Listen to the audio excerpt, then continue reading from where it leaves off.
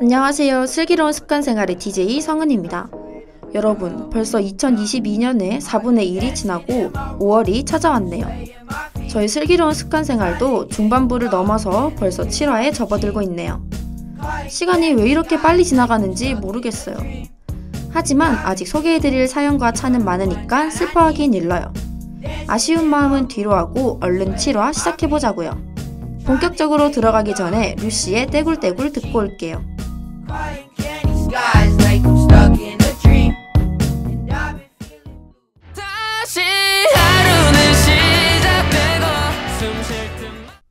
오늘 사연은 공감하실 분이 많을 거로 예상합니다. 자, 서론이 더 길어지기 전에 얼른 시작할게요. 안녕하세요. 입 짧은 햇님 이 아니고 그냥 입 짧다는 소리를 많이 듣고 살아온 17학번 학생입니다. 저는 중고등학생 때부터 대학교 4학년인 지금까지 입이 짧다는 소리를 정말 많이 들었어요. 그럴 만도 했죠. 밥 공기의 3분의 1 정도만 먹고 숟가락을 내려놓기 일수였고, 그 후로 1시간도 채 지나지 않아 배고파서 이것저것 먹는 게 제 일상이었거든요. 저도 제가 지나치게 입이 짧은 줄로만 알고 있었어요.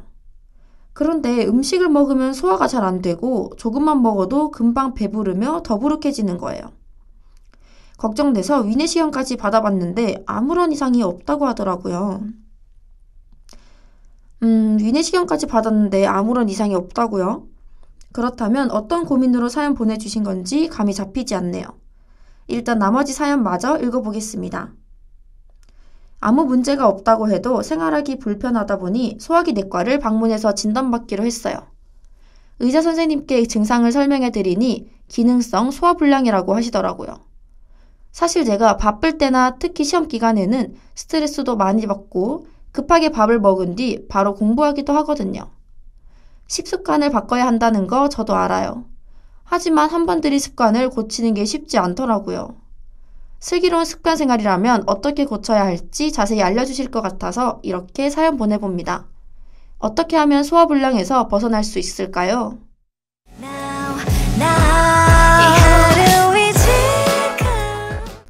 아, 소화불량. 제 주변에서도 소화불량을 겪는 사람들이 많더라고요. 현대인의 고질병 중 하나로 알려져 있기도 하죠. 우선 소화불량의 정의를 정확히 알려드리자면 소화불량은 음식을 섭취한 후 일어나는 소화장애 증상을 총칭하는 용어입니다. 위와 간담독의 질환을 비롯한 소화기관에서 다양한 원인에 의해 나타나는 모든 불쾌감과 증상을 의미합니다. 하나의 증상만을 말하는 것이 아니라 속쓰림, 트림, 구역질, 상복부 불쾌감, 위장 팽만감과 같은 소화기 증세와 더불어 복통까지 동반되어 일어나는 모든 증상을 포함합니다. 소화불량의 원인은 소화기 질환, 심장 질환, 정신적인 질환 등 다양하다고 해요. 사연자분처럼 식사 습관이 불규칙하거나 급하게 식사하는 등 잘못된 식습관으로 인해 음식물이 충분한 소화 효소 작용을 거치지 않아 발생할 수도 있습니다. 식사 중에 혹은 평상시에 습관적으로 공기를 삼켜 더부룩한 증상이 계속되는 예도 있다고 해요.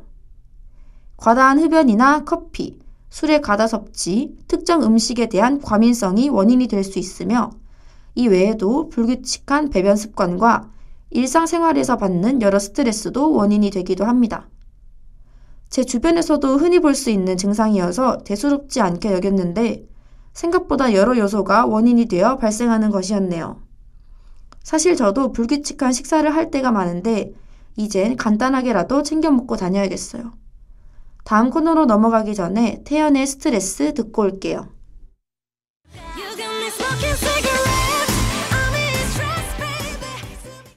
근데 참 소화불량이 현대인의 고질병일 수밖에 없네요. 커피도 1일 1커피 기본에 대학생은 과제와 시험, 직장인은 직장 상사로 인한 스트레스가 이만저만이 아니잖아요. 공부하거나 야근하다 보면 야식 먹을 때도 많고 과식하고 자면 다음날 더부룩한 거 겪어보신 분들 많을 것 같네요. 여러분을 위한 세 가지 솔루션이 더더욱 시급해 보입니다. 다들 집중해서 들어주세요. 첫 번째, 되도록 규칙적인 식사하기입니다. 정해진 시간에 규칙적으로 먹는 것도 중요하고 정량을 지켜 과식을 피하는 것도 중요합니다. 또한 취침 두세 시간 전에는 식사하지 않는 것도 중요해요. 두 번째, 30회 이상 씹기입니다. 입에서부터 소화가 잘 되게 하려면 음식을 30회 정도 씹는 게 좋다고 해요. 급하게 먹다 보면 몇 번 안 씹고 삼킬 때가 많은데 이는 위에도 부담을 주고 결국 소화불량으로 이어지기 쉽습니다. 천천히 잘 씹어먹는 습관을 들여 위에 부담을 줄여주는 거죠.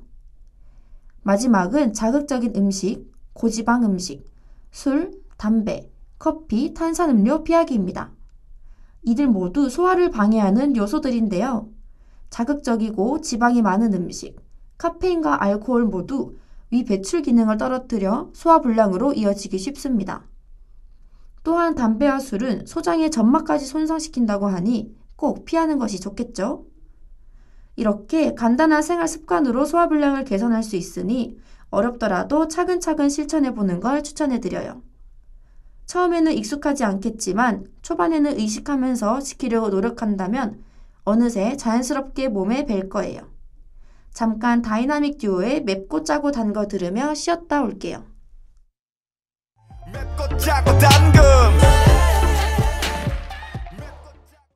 오늘 사연자분의 고민은 누구나 겪을 만한 주제이기 때문에 함께 합의도 좀 쉽게 접근할 수 있는 걸로 준비해 봤습니다. 바로 산책인데요. 에이, 산책으로 어떻게 소화불량을 해결할 수 있냐고요? 다 연관이 있습니다.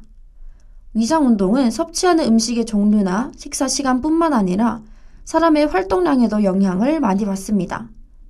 식사 후 앉아만 있거나 누워만 있으면 위장 운동은 오히려 떨어질 수 있거든요. 그래서 오늘은 식후 산책에 관한 팁을 몇 가지 알려드리려고 합니다. 첫째, 30분 정도 소화하는 시간을 주고 산책하시는 게 중요합니다. 음식물을 섭취하면 위를 비롯한 장기들은 소화하기 위한 활동을 시작합니다. 이때 곧바로 산책하게 되면 소화를 위한 활동이 팔다리로 분산되면서 소화장애를 일으킬 수 있습니다. 둘째, 산책은 20분 정도로 가볍게 끝내는 것입니다. 식사 후에 과도한 활동을 하게 되면 팔다리 근육에 전달되는 혈액량이 늘어나는데요. 그러면 상대적으로 위장으로 가는 혈류량이 줄어들어 혈액순환 감소로 인한 소화불량이 생길 수 있습니다. 세 번째, 따뜻한 복장으로 걷는 것입니다. 낮은 기온도 소화를 방해하는 원인으로 작용할 수 있다는 거 알고 계셨나요? 추위에 떨게 되면 평소와 다른 생리적 흐름을 만들면서 위장 운동을 방해할 수 있고 추위 자체가 스트레스로 작용해 소화를 방해하기도 합니다. 지금 날씨는 추위와는 조금 거리가 있지만 아직 일교차가 커 저녁엔 쌀쌀하므로 겉옷을 챙겨서 간단히 산책하시는 걸 추천해드려요.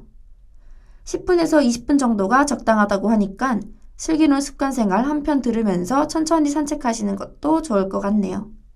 그럼 저희는 베게린의 산책 들으며 잠시 쉬다 올게요. 산책을 하네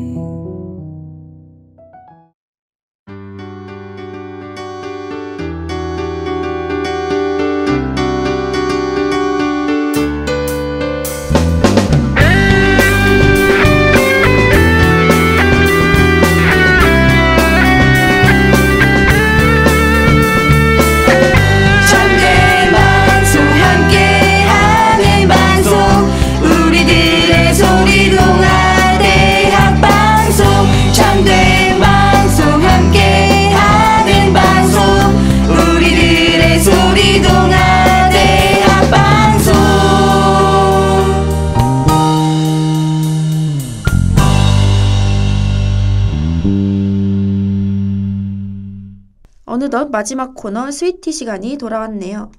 오늘 소개해드릴 차는 카페인이 없는 루이보스 차입니다. 네? 루이비통 아니냐고요?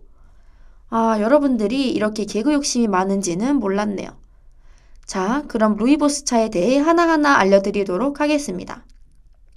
루이는 붉다라는 뜻이고, 보스는 덤불을 뜻하는데, 루이보스 나무가 덤불처럼 생겨서 그렇게 부르는 것이라고 해요.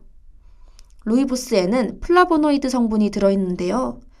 이는 설사나 소화불량과 같은 소화기관 질환을 완화해주기 때문에 소화불량을 겪는 분들께 추천해드릴 수 있습니다. 그리고 면역력 저하도 소화불량의 원인이 될 수 있는데 루이보스 차는 면역력 향상에도 도움이 되기 때문에 꾸준히 마시면 좋습니다. 또 미네랄이 풍부하여 항산화 작용을 하므로 노화를 막아주고 피부 미용에도 도움이 됩니다.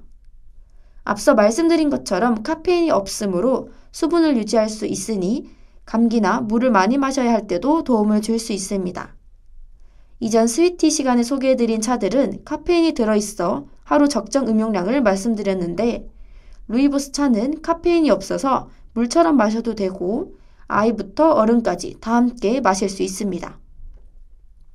저도 루이보스 차 종종 마시는데 쌉싸름한 맛도 없고 부드러워서 부담 없이 즐길 수 있더라고요. 여러분도 물 먹기 싫은 날엔 루이보스 차를 드시는 건 어떠신가요? 그럼 오늘의 마지막 곡 이하이의 우린 어떠한 별보다 빛날 거야 들으며 마무리할게요. 우린 어떠한 별보다 빛날 거야 Yeah. No, no, no, 연초에 세워둔 계획을 아직 실천하지 못하신 분들도 계실 텐데요.